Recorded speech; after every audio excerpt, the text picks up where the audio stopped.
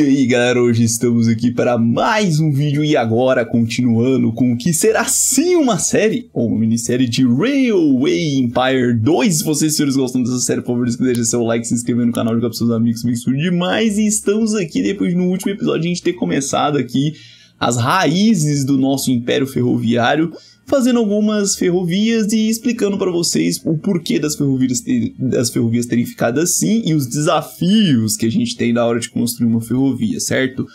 E bem, muito obrigado pelo feedback maravilhoso do primeiro episódio, porque hoje a gente continua a nossa expansão e a melhoria das linhas já existentes aqui no caso, que a gente ainda tem uma parte delas que não está funcionando. Inclusive o jogo está pausado, isso porque eu quero aproveitar aqui o máximo dos subsídios que o jogo nos entrega aqui por conexões que a gente pode fazer.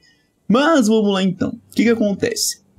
Atualmente a gente tem um pedaço dessas infraestruturas que a gente construiu desativada, que é a linha aqui de carga, que a gente tem conectando a nossa linha de carga da nossa serraria barra fazenda de lã aqui, né? Com a nossa fazenda de grãos aqui em cima, que vai trazer grãos para Nova York. Isso tudo vai fazer com que Nova York cresça, tá? Na verdade, ele não tá crescendo ainda, porque a nossa demanda, que o atendimento de demanda, não chegou a 60%. Ponto importante, as cidades precisam de pelo menos 60% de atendimento de demanda para crescer, tá? Se estiver abaixo disso, ela vai parar de crescer e dependendo, não sei qual é a porcentagem de atendimento de demanda, ela pode até começar a diminuir, tá? Então isso quer dizer que quanto mais ela cresce, mais demanda ela vai ter. Então automaticamente o atendimento de demanda vai diminuindo quando ela vai crescendo você tem que ir adaptando para ir atendendo a demanda infinita e capitalista, consumista que as cidades vão tendo com o tempo, né? É que tá o grande desafio. Mas enfim, o objetivo de hoje são dois, tá? Não só expandir a nossa linha aqui, mas fazer a nossa linha aqui que está desativada funcionar e melhorar o atendimento das linhas que a gente já tem, tá? Se a gente for dar uma olhada, agora a gente pode pausar o jogo talvez, a gente consegue ver que a nossa estação aqui da Parker, né, aqui que a gente tem, ela, essa linha aqui na verdade, ela tá com uma utilização de cerca de 50% e ela tá dando conta do recado mesmo, tá? Então acho que eu não preciso mudar ela agora não. A minha outra linha aqui no momento, ela também tá com uma utilização que eu acho que tá bem tranquila por enquanto, tá? Vamos dar uma olhada aqui para ver como é que tá a utilização dessa linha aqui, ó. Essa aqui mesmo, ó, Nova York Albany. É, eu só vim aqui editar aqui a nossa linha, que tá com a utilização de 25,7. No início tinha muita demanda represada, muita coisa que queria ser transportada e não estava sendo transportada porque a gente não tinha linha e agora a coisa destabilizou mesmo, tá? Então essas duas linhas, por enquanto, não estão precisando de expansão, mas isso vai mudar quando a gente construir as outras linhas. Mas a gente vai começar a ter várias baldeações, né? A galera das outras cidades vão começar a parar na estação de Nova York para ir para Albany Assim como a galera de Albany vai começar a ir para Nova York para ir para as outras estações das outras cidades em volta, tá? E é óbvio que a gente quer fazer isso, e para fazer isso, inclusive, a gente vai precisar de mais pesquisa, tá?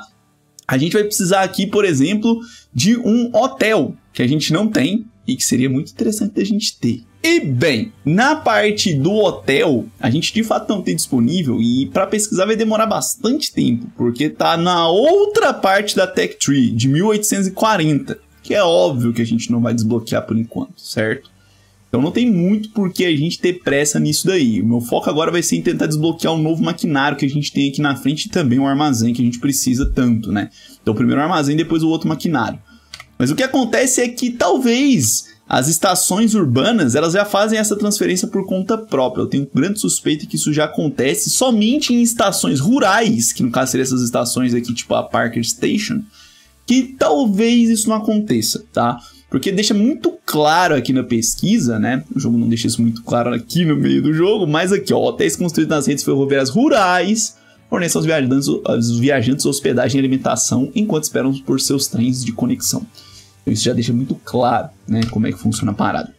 Mas vamos lá então.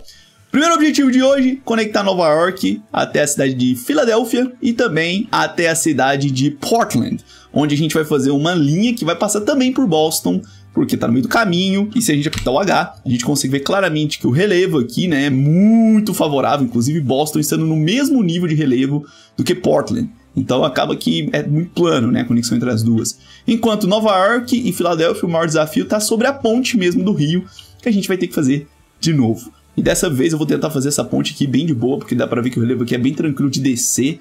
Aí a gente chega até perto do leito do rio, atravessa numa ponte rasa, que vai custar barato, e conecta até Filadélfia. Lembrando que Filadélfia também tem uma linha aqui que pode se conectar à nossa linha de cargas aqui de gado, né? E ela pode acabar trazendo também pra gente aí alguma vantagem. Inclusive levando em consideração que Filadélfia tem uma fábrica de carnes, né?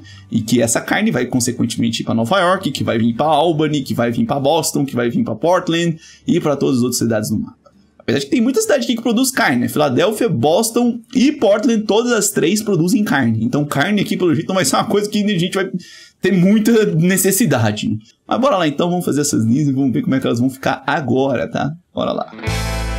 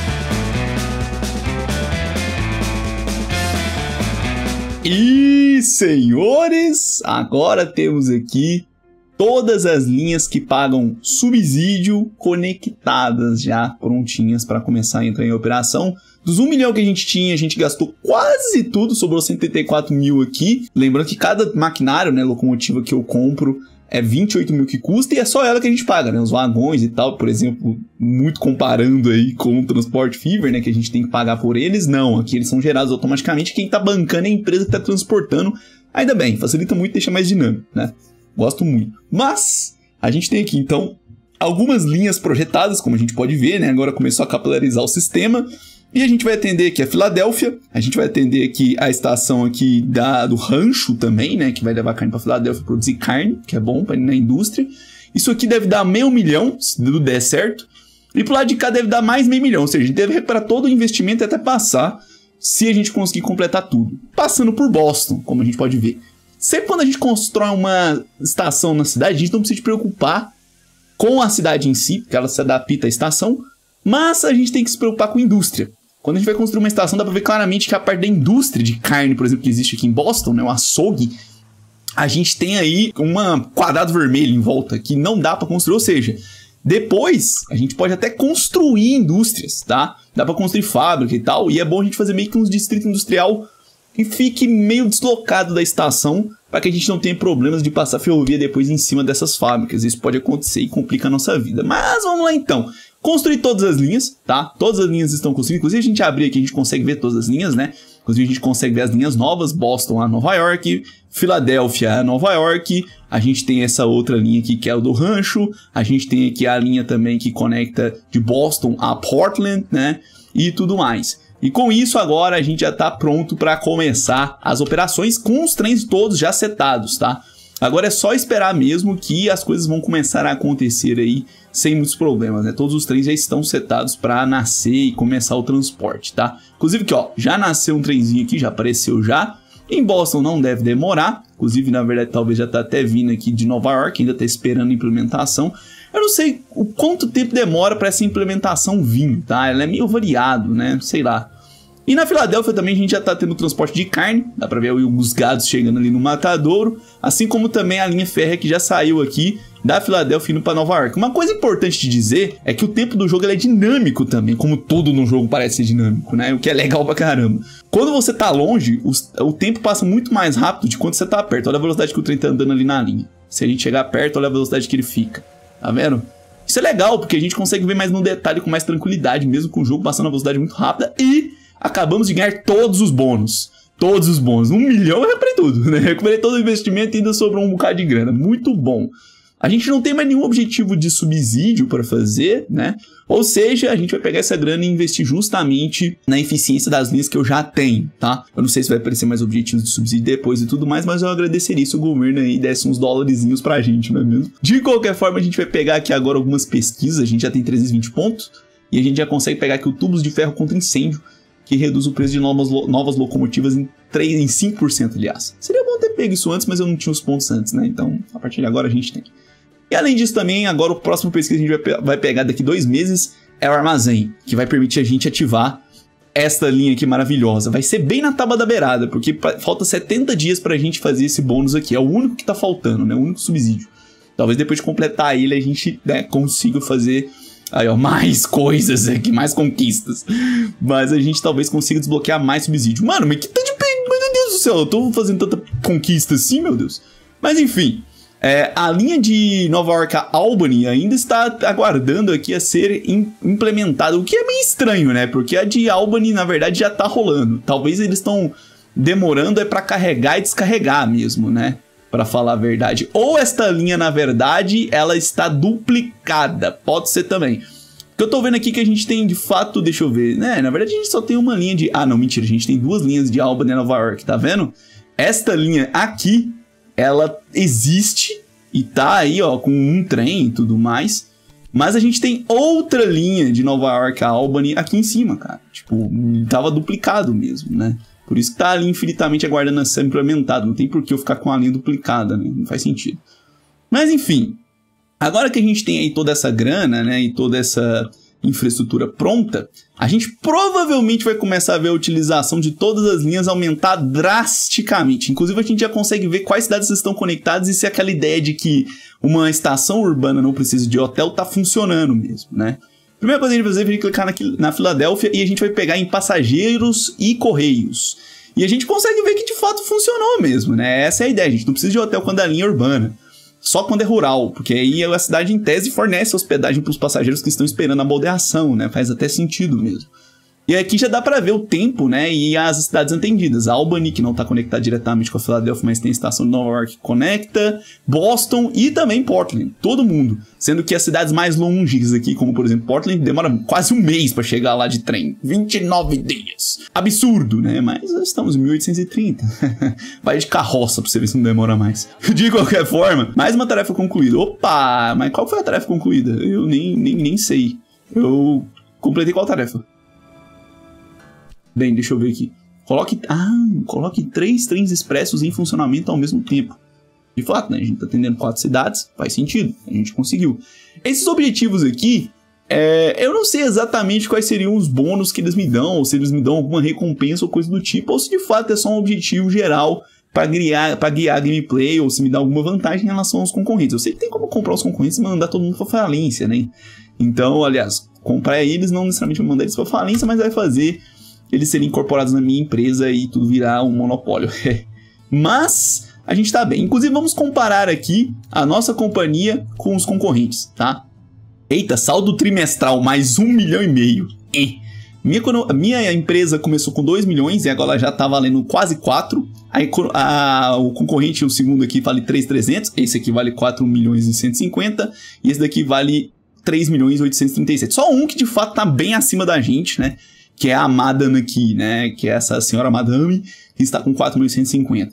Inclusive, ela que, se eu não me engano, é a senhora que tem a região mais próspera, que é essa região aqui, porque, mano, é muito plano, cara. A região que ela tá atendendo é muito plano. Mesmo ela, né, fazendo só uma linha minúscula, já dá para ver claramente que ela tá ganhando mais dinheiro que qualquer um, né?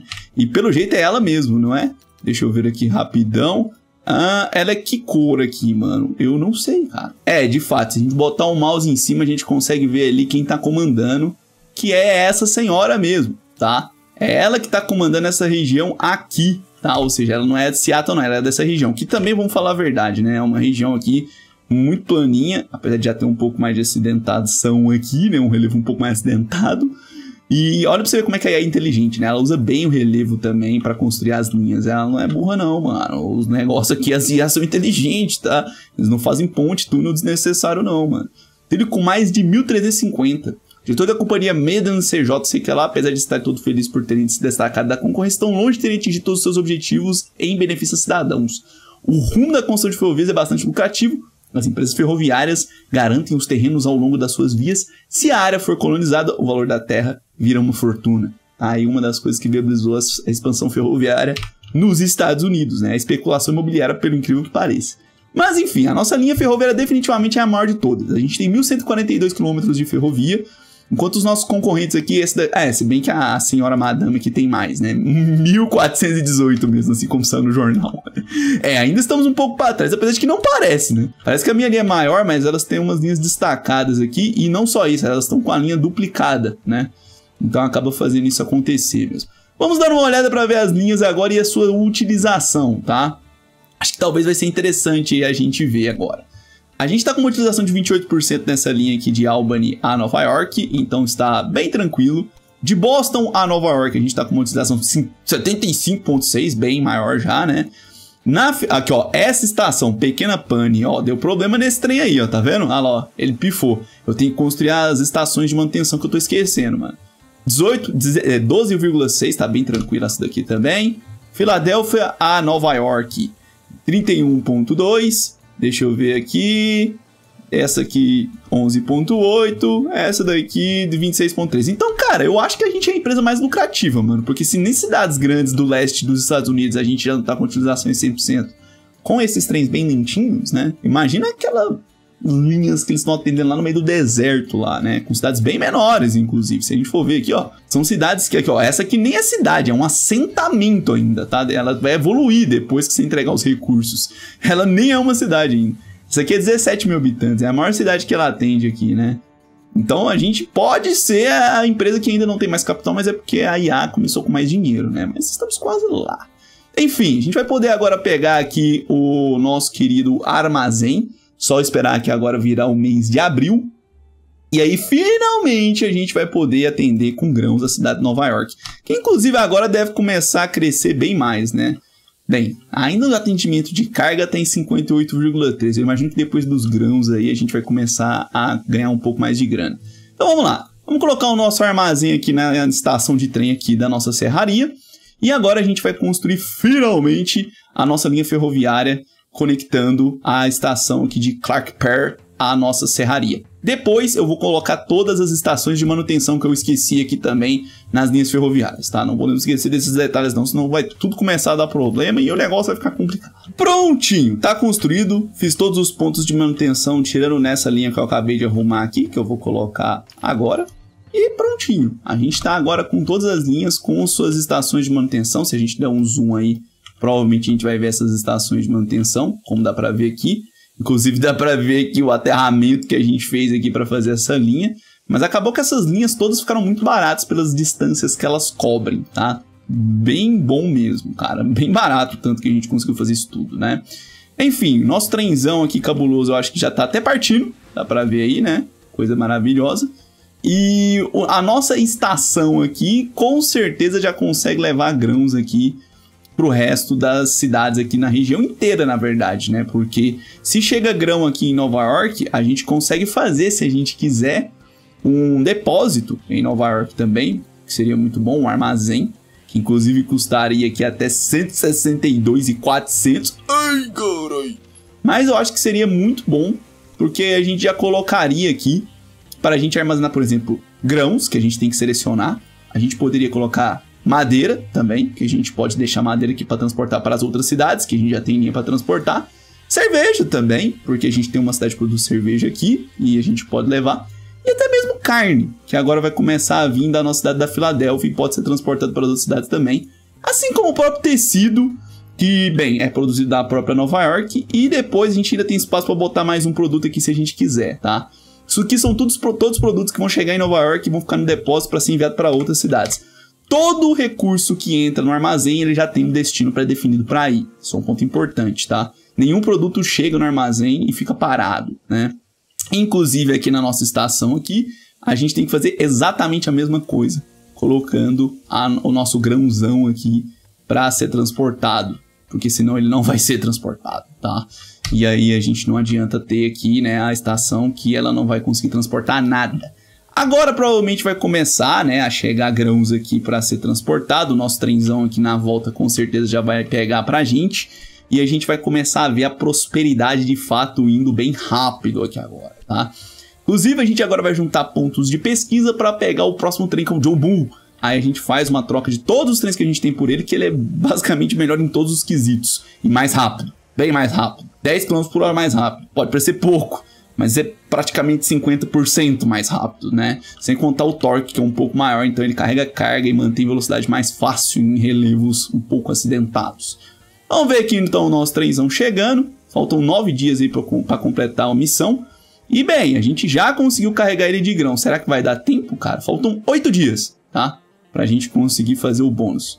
Eu não sei se o jogo vai interpretar que ele já tá conectado quando ele entregar aqui. Eu espero que sim. Mas carregado e funcionando a linha já tá. Bem, faltam dois dias e o meu trem vai chegar na estação ali agora. Eu não sei se o jogo vai interpretar que tá conectado. Se der, foi na tábua da beirada, tá? E eu acho que não vai dar. Zero dias. E não funcionou. É, não ganhei os 240 mil. Sede, tá? Felizmente eu planejei a linha para funcionar com o armazém. Só que o jogo só entenderia que a linha estava conectada quando o produto chegasse no destino final, que seria Nova York, né? E não chegou, infelizmente. Mas tá tudo bem, porque eu já estou com uma grana boa ali, mesmo depois de ter feito todas as construções de manutenção e tudo mais. Vale a pena dizer que cada galpão de manutenção que a gente faz custa 100 mil. Eu tive que construir um aqui na Filadélfia, tive que construir um em Boston e tive que construir um também em Clackpare para todos os trens terem manutenção e tudo mais. Inclusive, todos os trens estão mantendo sua manutenção em dia, tá? Vale a pena dizer que a manutenção do trem ocorre só quando ele está com 60% da condição ou menor, para não ficar parando o tempo inteiro, né? E ó, lei de transferência indígena aprovada. As negociações com as tribos começam. A lei de reassentamento para as tribos indígenas americanas ao leste do Mississippi de longa controvérsia está em vigor hoje. Agora o governo está atualizado, autorizado a negociar com as tribos afetadas sobre reassentamento voluntariamente forçado. Voluntariamente forçado. O presidente Andrew Jackson disse aos críticos da lei que o progresso precisa avançar. Até porque o progresso não avançar não é progresso, né? Mas enfim, a gente agora então vai esperar para ver se a cidade de Nova York vai crescer e parece que já está crescendo. Já apareceu a setinha, já estamos com 61,1% de atendimento de demanda e ela vai começar a crescer. Além de que eu quero ver também se a estação ferroviária de Nova York aqui, né, já tá começando a armazenar as coisas no seu armazém e já tá, tá? Já dá para ver aqui que cereais, cerveja e carne estão sendo armazenados e tragos aqui para o nosso armazém para começar a ir para as outras cidades integradas na nossa rede ferroviária. Muito bom, tá? Inclusive o lucro operacional da nossa empresa parece estar muito bom também, tá? Inclusive vamos dar uma olhada nisso agora. Vamos ver aqui nas partes das financeiro, exatamente. Né? Inclusive na parte do financeiro a gente tem como comprar ações de indústrias, tá? Pra gente investir e ter um, tipo, uma reserva de patrimônio. E além disso também emitir títulos de dívida que seria tipo empréstimo, com taxas de juros que quanto maior a dívida e o prazo, maior os juros, como a gente pode imaginar, né? Mas vamos dar uma olhada no relatório trimestral, que a gente acabou de acabar o primeiro trimestre, né, na verdade. E o que acontece é que a gente está com um lucro geral de 1.545, mas boa parte desse lucro foi os bônus subsídio, né? Que a gente inclusive não ganhou 240 mil. Mas dá para ver que só o lucro de operação nosso, nosso custo de despesa operacional mesmo, é de 72 mil. E só o lucro de passageiro já paga esses 72 mil com folga, tá? E aí chega correio, chega carga e tudo mais. E, mano, o nosso lucro é nítido e muito bom, tá? Então tá ótimo, a nossa empresa é sustentável. Sendo assim, vamos dar uma olhada novamente nas nossas linhas para ver a utilização delas, né? Para ver se a gente vai precisar de aumentar. E vai. Albany, Nova York, utilização 100%. Boston, Nova York, vamos dar uma olhada aqui. Cadê Boston, Nova York? Utilização 100%. Clackpare, utilização 50%. Que essa aqui é uma trajetória só de carga. Filadélfia, Nova York, utilização 100%. Basicamente todas as cidades agora estão com utilização 100%. Por quê? Porque agora a gente está usando Nova York como hub de transporte de carga. E esse hub de transporte de carga faz com que a gente tenha aí muito mais demanda, tá? E a gente vai pegar aqui agora em Boston e a gente vai construir também aqui um armazém, tá? Por quê? Porque a gente também vai usar aqui a região de Boston como ponto de hub para transportar pela linha de Boston e Portland. A gente precisa ter um armazém para armazenar as paradas para transportar de uma cidade para outra, né? Negociações no mercado de ações permitidas. Agora todas as companhias ferroviárias podem comprar ações uma das outras. Significa que as ações de seus concorrentes não estão falando mais do que as suas. Ou correrá o risco de que as outras pessoas comprem sua companhia. Ou seja, se a sua, sua companhia for muito barata, né? Ela vai ser comprada provavelmente. Não tem muito que você possa fazer é isso daí, tá? Enfim, vai colocar aqui um bocado de coisa, tá ótimo. Isso daqui já garante pra gente aí bastante coisa. E já dá pra ver, mano, bastante dinheiro sendo rendido aí nas linhas, de fato. E agora a gente vai passar pro próximo passo de expansão, que vai ser a duplicação das linhas, tá? para a gente conseguir já aumentar o volume de cargas, tá? O que, a gente vai fazer então? Já vou construir a duplicação de todas as linhas aqui. Vocês vão ver que existem algumas coisas que a gente tem que fazer na hora de duplicar as linhas. E essa duplicação ainda não vai ser a parte final dos nossos eixos ferroviários, porque depois a gente vai ter que separar as linhas de carga das linhas de passageiro. O que não compensa agora, porque os maquinários que a gente tem são todos híbridos, inclusive o próximo Poveleira também é híbrido. Então, tipo, não tem muito por que você botar um maquinário para passageiro e outro para carga, todos os maquinários vão rodar no mesmo ritmo. Mas depois, aí aqui na frente a gente já consegue ver que esse também é híbrido, mas o próximo já é de carga. Depois o próximo é expresso. E quando a gente tiver trens diferentes para objetivos diferentes, a coisa muda bastante. Bora lá duplicar, então vocês vão ver aí mais ou menos como é que vai fazer. Primeira duplicação que eu vou fazer é entre Filadélfia, Albany e Boston. Quem sabe eu já não estendo aqui também a porta. Duplicar é bem fácil depois que você tem a rota original completada. Bora lá fazer. E é muito mais barato também, então acho que não vai gastar tanta grana assim, vai estar tá tranquilo. Bora lá.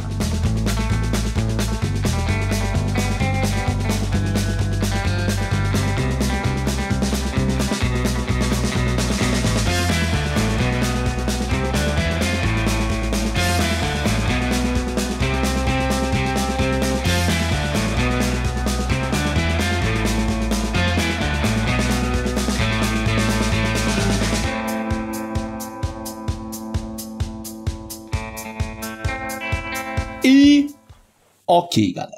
Temos aqui todas as nossas linhas duplicadas. Inclusive, a gente consegue ver aqui de cima só as linhas de carga que não, porque elas estão com a demanda bem de boa por enquanto. A única linha que talvez fosse precisar de um pouco mais de condição aí de transporte seria essa daqui de Nova York, a Parker, que é uma linha que também pega, du é, pega três indústrias, na verdade, né? De lã, de grão e também a de madeira. E ela tá com utilização 100% também, então talvez a gente vai fazer isso, mas eu vou fazer isso depois, porque o dinheiro ali tem que esperar o caixa dar uma enchida de novo, né?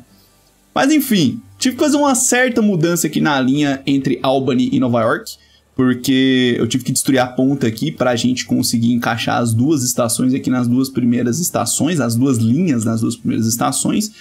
Inclusive, agora a gente está utilizando uma estrutura muito importante que é a estrutura de grelha. O que, que é estrutura de grelha? É isso daqui que vocês estão vendo, tá? É uma estrutura que coordena a utilização de múltiplas plataformas na estação numa linha só. Por exemplo, esse lado de cá, de Nova York, que vocês podem ver que tem uma linha que conecta com Boston, que ela para em duas estações.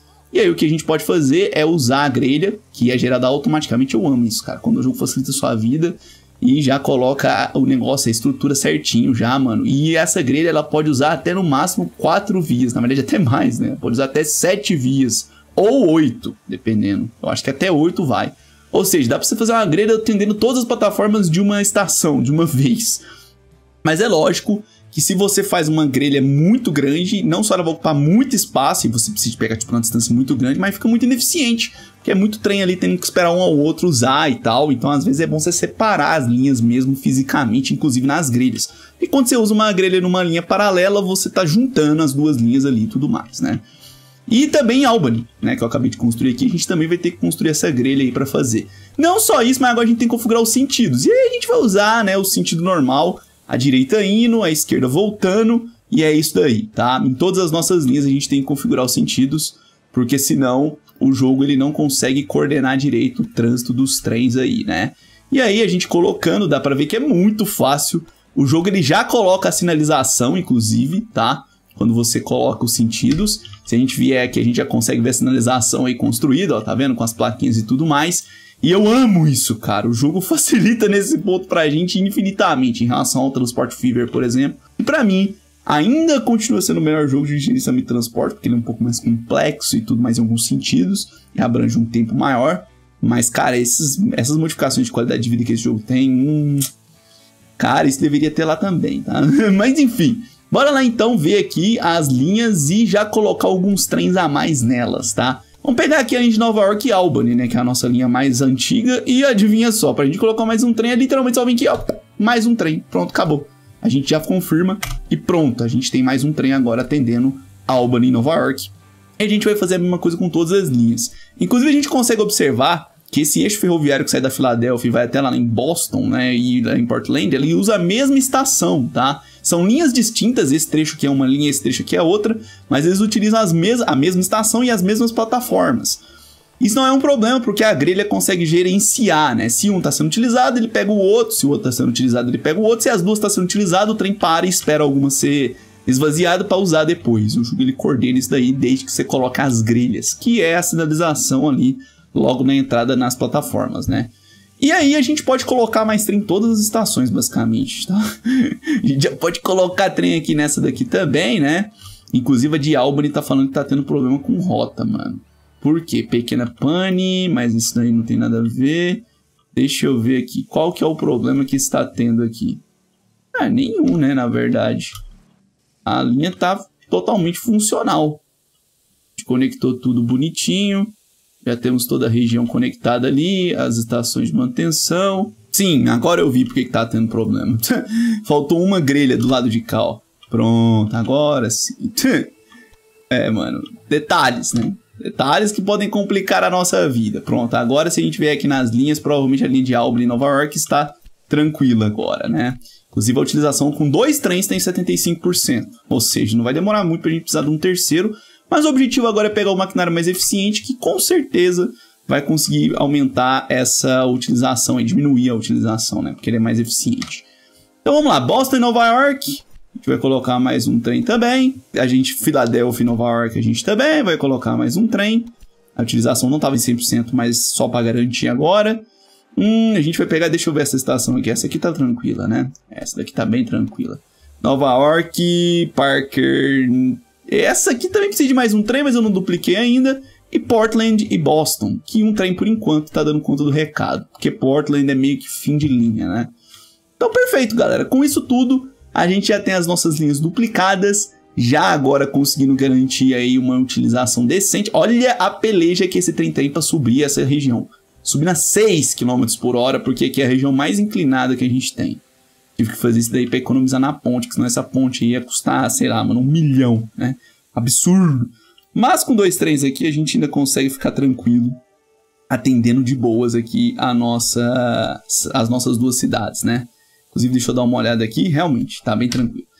E é isso, galera. Vou encerrar esse vídeo por aqui, então. Próximo episódio, a gente provavelmente vai ver uma Nova York que está crescendo infinitamente, crescer ainda mais, porque o atendimento está em 75%, a cidade já está com 26 mil habitantes. Filadélfia agora também está crescendo. Eu imagino que Boston e Portland vão acompanhar, assim como Albany também já está crescendo. E todas essas cidades que a gente está atendendo devem crescer muito mais.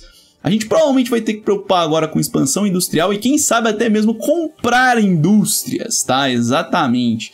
A gente pode vir aqui comprar, dar leilão aí para comprar, só que é caro e bem, é uma forma da gente conseguir controlar melhor a economia e expandir a produção, tá? E óbvio, né? A gente tá falando de um império da ferrovia. E como império, a gente não vai ficar num setor só, a gente vai dominar a porra toda.